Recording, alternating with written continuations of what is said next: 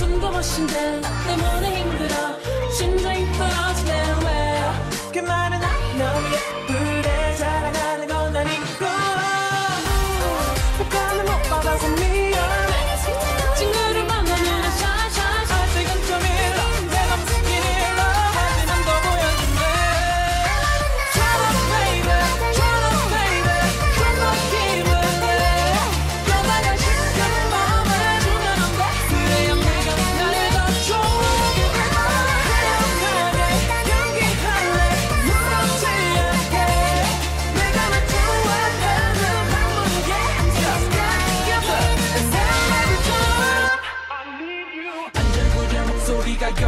소리 들려. 땀에 젖은 전화기가 여기서도 보여. 바로바로 바로 대답하는 것도 매력 없어.